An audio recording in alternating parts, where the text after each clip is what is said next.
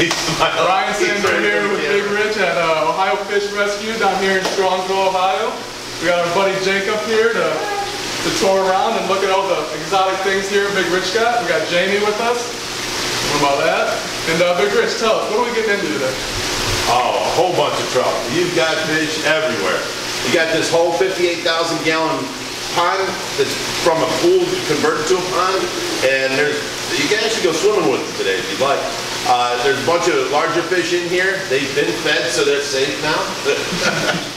But no, the day that we finished this, and uh, it was the pond guy and Aquascape was here, they donated this to us. They took our pool and transformed it into an Aquascape uh, pond feature that I can raise my monsters in. This whole deep section is one big Aquascape filtration underneath there. And there's pumps and filters and everything. And then we built this river along the side for live plants, like a bog filter on a natural pond. Yeah. What, what made you want to start the rescue? Was it you getting bit in the ankle by a shark when you were a kid? No. that made me want to run from fish. But, um, I just had larger fish. I was fascinated with fish all my life. And then when I moved here, you know, I ended up finding a couple big tanks. And once you have a big tank, word gets around and everybody, you know, don't big for their tanks even.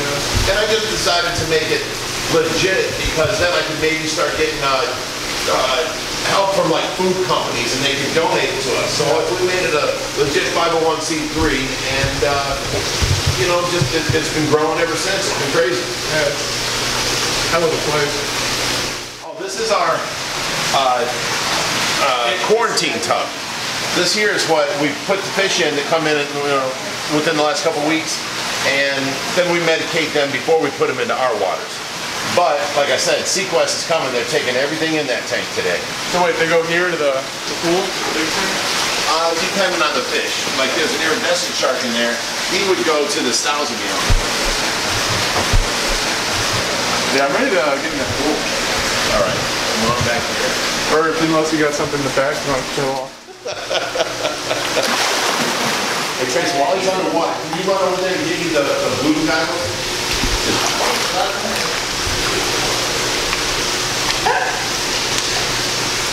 We're out fish. I was scared. What's this thing looking at? Nah, he's fine. He'll come up and check you out, and then he'll turn around and swim away.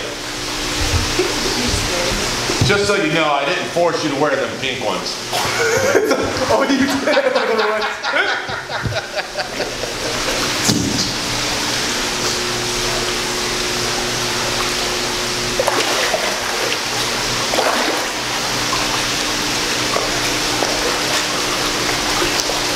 He sees the He says that's enough.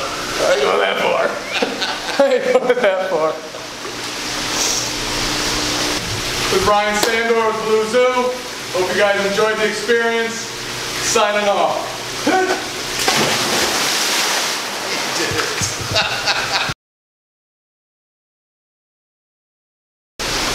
Y'all done? I kind of sweat. Get your little uh, eighth grade body out of the pool now?